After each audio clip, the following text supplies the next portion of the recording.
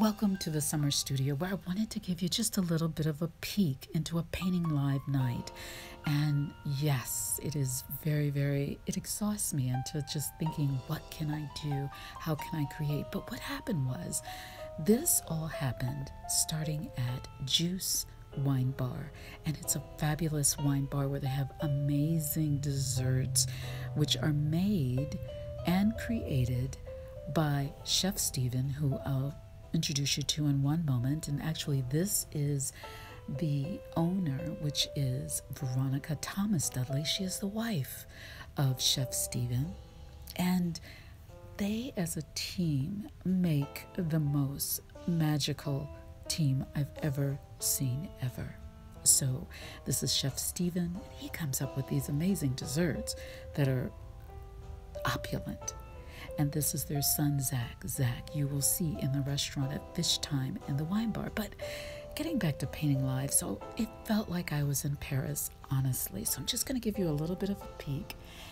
So this is the painting that Veronica commissioned me to do, and it's of Veron- it's of Diana Ross from when she was with the Supremes, and she wanted it to be in sepia tones to be reminiscent of that time around the 60s, that wonderful, gracious time. And so I did my best to create it to look really black and white, but with a little bit of brown sepia tone in it. I really love painting. So this is me. I'm painting at her wine bar, which is called Juice. You have to visit it if if you're ever in town. It's in Acworth. It is just fantastic. It's called the Juice Wine Bar, and it's directly next door to her major restaurant, which is called Fish Thyme. But anyway, this is the picture that she asked me to do it from, and it's one with her looking at Sammy Davis Jr. And I really wanted to capture that essence of her looking and that feeling that she had when she was looking at him. And so basically, I I just had such a good time doing this. It was just just a ball, just fabulous. And someday I, I hope that I'll be able to paint Diana in her own home. I think that'll be really, really fun. I'll let you know when that happens. But all in all, this was my painting.